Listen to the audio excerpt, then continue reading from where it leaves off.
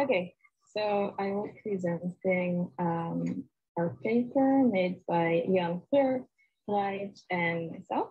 Um, and we all got, are going to be talking about a cognitive architecture for mental processes involving mental models analyzed from self-modeling network viewpoint.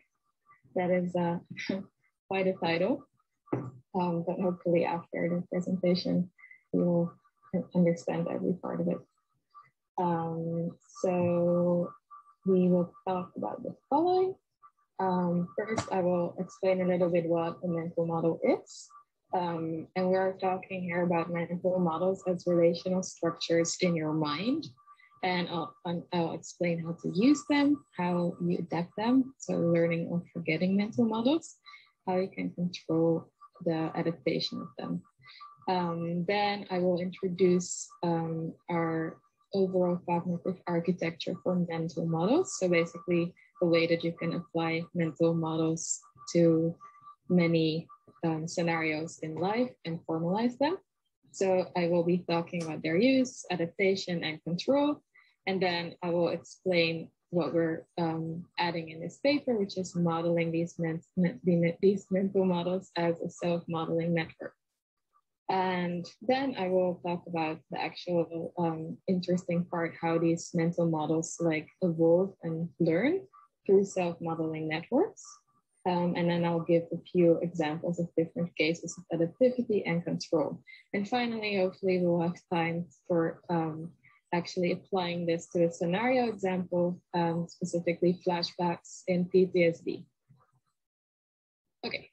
So first of all, what are mental models? Um, so there's this nice explanation by Craik that we often uh, like to use in our papers. So I'll just read it out.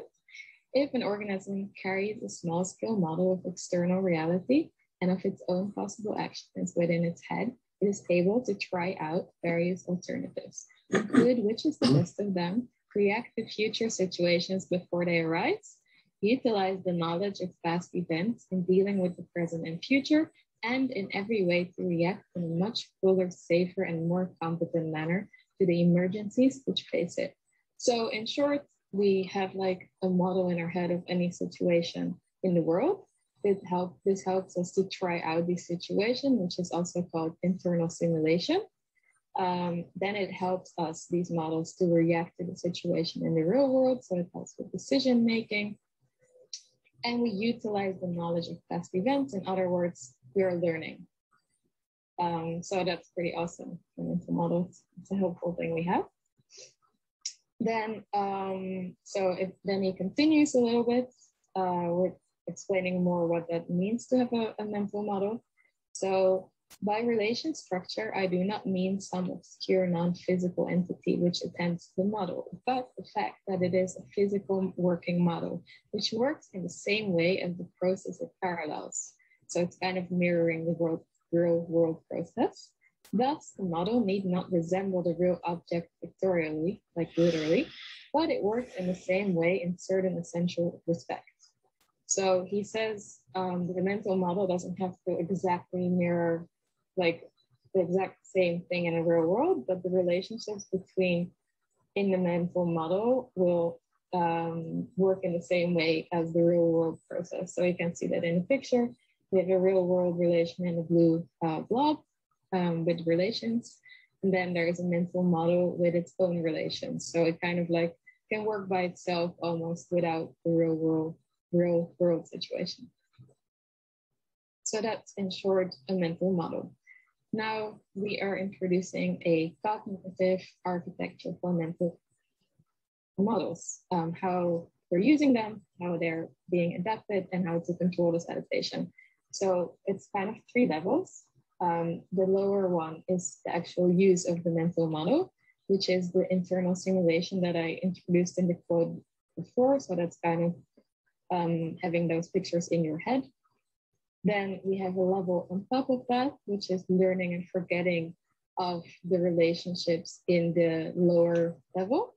And finally, there's another level on top of that, which will um, control those relationships um, that you have in the, in the middle level that then control the, the relationships on the lower level. Um, so just for example, like the speed of learning. So you get a little bit in your head. Um, so in other words, the lower level is a relational structure, then adapting the relations and controlling the relations. Now in this paper, we are kind of introducing this as a self-modeling network uh, perspective. So the same three levels on the left, concerning simulation, adaptation, and control. And on the right, this kind of feeds into a base level with a mental model structure as a subnetwork. Then in the middle level, we have a first order self-model of a mental model structure.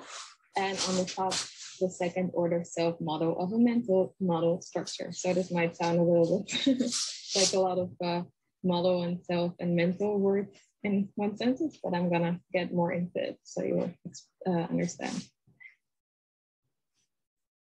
Oh, I already said that. it's the same things as the picture before. Okay, so we know what a mental model is. Um, I've introduced our cognitive architecture, and now I'll give a few different cases of adaptivity that we're also introducing in the paper. Um, so we have different kinds of learning that we support with this architecture. First of all, um, Hebbian learning. So that is introduced by Thomas Hebb uh, many years ago. And basically, maybe you've heard the quote, uh, neurons that fire together, wire together. It's been researched that if there is the same like neural patterns um, activated often in your brain, then these uh, relationships between these neurons actually strengthen. So that's how you like learn because when they're stronger, they'll be like uh, faster or easier to, to activate. And then um, there's a few other types of learning that we also support, excitability learning, information source, counterfactual thinking, other mental models, and theory of mind analysis. And then we have also bonding by homophily and attachment. So we've applied this cognitive architecture to all these uh, examples. So as you can see in the names of the, these are all papers that you can find um, online and also uh, most of them in our, in our book that I will introduce later on.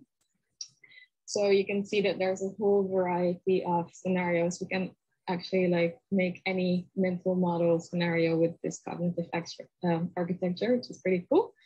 Um, so for example, flashbacks, which I'm hopefully going to have time to discuss later, or decision making, or your uh, way of viewing relative God, um, or driving a car.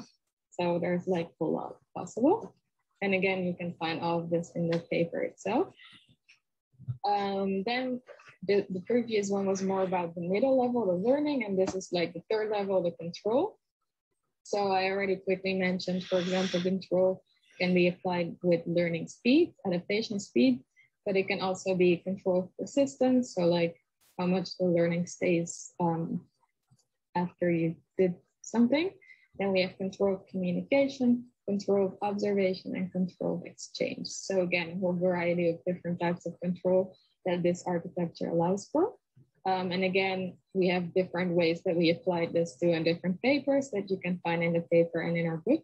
So it's um, similar ones from the ones before, for example, um, in therapy, in decision making, in attachment models. So um, you have like the secure attachment and those things. Um, so yeah, there's a lot of possibilities here, and it's uh, pretty cool that the architecture can just allow all of these to be modeled and formalized in a similar way. Okay, so I went through what is a mental model, the cognitive architecture, and I showed some examples of how this cognitive architecture for mental models in self-modeling perspective can be applied to adaptation and control. And now I have a few minutes left to discuss a nice example. So we saw already in the tables before that we had the PTSD uh, flashbacks in here. So here you see that it applies Hebbian learning and it has control of adaptation speed in the second line. So I'm gonna discuss that one now. And This is also uh, discussed in the paper more longer. So this is the self-modeling mental model of flashbacks in PTSD. I'll start with a little domain background and then show how we like made the model based on the cognitive architecture introduced in this paper. So first of all, some domain background. Um, PTSD um, happens when a course of events and some random stimuli accompanying them lead to strong negative emotions, and this can lead to PTSD by adaptation. So flashbacks are like a symptom from PTSD sometimes. So they can be triggered by the stimuli, stimuli that became connected to the traumatic event. So these random stimuli with the course of the event. And these stimuli now can lead to strong negative emotions. Um, how can you recover from PhD? But PhD, sorry, PTSD. Um, you can't recover from a PhD, I think. Um, you can recover by improving your emotion regulation. So you can't actually undo the stimuli that happened or things like that, but you can strengthen um, other neural net like neural networks in your brain adaptation in order to like deal with the emotions that come up from these stimuli. So maybe that rings a bell of what I discussed about the Hebbian learning before. So then we have our modeling methods. Um, so the goal is to introduce a computational network to address the different kinds of adaptivity uh, needed for development and recovery of PTSD symptoms. So these are a few different things that we want to be able to model with our cognitive um, architecture. First of all, on the first order level, so the middle one, if you think about the three levels, we have a mental model to learn the flashback and a mental model to learn the trigger. On the second order, um, we have impairing emotion regulation, metaplasticity, and recovering emotion regulation metaplasticity. So that's kind of controlling um, how fast you are learning the emotion regulation um, patterns. So that's on the third level. Then we have strengthening emotion regulation. Sorry, in the second level we call it, but it's like the third in the three levels. And finally, strengthening emotion regulation, which is on the first order. So that's kind of the recovery um, process of PTSD. Um, so as I already spoke about, we have Hebbian learning that we uh, in, that we use here, which is neurons that fire together, wire together. So we use it to learn a connection of a trigger stimulus to the traumatic course of events based on sensory preconditioning. And then we have learning the connections in the mental model of the traumatic course of events based on observational learning, also using sensory preconditioning. And then we have to get better, uh, get better to like recover from the PTSD flashback symptoms. We have strengthening emotion regulation for recovery by learning the connections to the prefrontal cortex areas. So this Hebbian learning is gonna either start the PTSD um, symptoms, and it's also going to help to get them go away. Um, then we have second order adaptation. So stress reduces adaptation speed. So the more stressed you are, the slower you learn. I'm sure we all know the feeling of uh, studying the night before test. It feels like you're going through the material very fast, but not much is staying in your brain. Um, so we have reducing the adaptation speed for the learning of emotion regulation connections to the prefrontal cortex areas due to high stress levels. In other word, words, if someone's really stressed, their emotion regulation is gonna go pretty slow, the learning it. And if someone is a bit less stressed, then the adaptation speed for this emotion regulation connections can be faster. So someone will recover better from PTSD if they're less stressed It's a bit hard because PTSD can be pretty stressful. So these are all things that our model can show. Um, so then we um, have the second order network models. So we moved, we translated the domain into a conceptual model. And then we're going to formalize this in a rule matrices format with connectivity, aggregation, and timing matrices. And this is going to go into a software program that has like a whole environment where you can easily make these kind of models in in MATLAB. Again, you can find all of this also in the book and other papers, and then you can easily run simulations with it. Is my timer? I thought I heard some. Okay. Um, so maybe I'll just move through this really quickly because I think I'm a bit out of time. So we have a conceptual model that has three levels. Um, I showed this before, so I'm just going to go through it. This is kind of what the conceptual model looks like. You can recognize the three levels. The lower level is like the base level network model. The middle level is the uh, first order self-modeling level where the learning takes place. And the top one is control. I um, for interrupting, but time is okay. Uh, no problem at all. Oh, okay, fine. Awesome. Okay, so I'll slow down a little bit. So on the bottom level, um, you see all these pink uh, circles, and it has learning the trigger and the trauma. Um, the middle level is the learning. So basically, are specific relations. So let's look, for example, as, at this SRSTE2 to SRSTE3. You see arrows going up to the middle level to W SRSTE2 SRSTE3. So that means that this is representing the connection between these two states. Um, and that's how the learning takes place because we're kind of conceptualizing the relationships between two states. And this means that this relationship can become stronger or weaker. And then there's, so there's two arrows going up from those two states. And then there's a pink arrow going down, um, which is what the learning is. And then from this one upwards, you can also see how the control works. Um, so the control is getting, uh, is being fed by three states, the two ones in the base level and the one in the uh, first order level. And then that is controlling the middle level learning um, state. So that way, that's kind of how the architecture of Hebbian learning works here. And you can see that we have um, six places that we are doing this in. So there are six places where the person can learn. And this is kind of um, what it's showing. It's showing how someone is learning the mental model of the trauma, but it's those dots more on the left side of the model because that's where the trauma happens. And then the dots on the right side, those blue ones, is kind of where the emotion regulation takes place. Um, I won't go too much into the theory of like the the neuroscience part of the how these state what these states exactly represent, but that's like the overall idea behind it. But you can read more about it in the paper. okay, so this one I'm actually just going to skip, but that's like how it's being formalized in these matrices.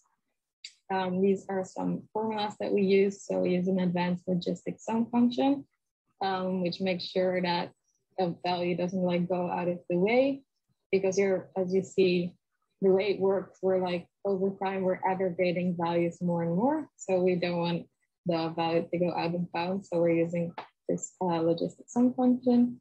Then we have the Hebbian learning function, a step one's function, which is just helping us to start up the simulation with, with providing a one-time trauma experience. And step mod means that it comes back every so often. So that's the trigger because the trigger will come without the trauma sometimes. Um, here you can see the simulation. Um, so just quickly show that's how, so basically we have the conceptual model, we formalize that into these matrices, and then we put that into the uh, software environment, and then you can run these simulations and you can play around with the parameters um, in order to see what happens if you change things a little bit. So this is a development of PTSD without using therapy. Um, we can see the trauma starts at 100 to 200 um, times. This is like one. Um, and then you see that the trigger keeps coming back. And that also means that the execution of the bad emotions, which is the all ones all the way on the right, ESB, uh, PE, and ESVB, those ones also get activated because of the trigger, not because of the trauma. And we don't want the person to feel these things just from a random trigger. Then here we have um, development of PTSD and recovering using therapy. So you can see that the person gets a, a trauma stimulus and a trigger stimulus, and he's getting the bad emotions from it. But then the therapy starts working after some time and the person learns emotion regulation.